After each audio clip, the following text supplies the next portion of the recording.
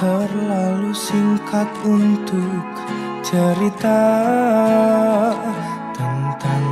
dan aku. Kau pergi tanpa pesan terakhir dariku.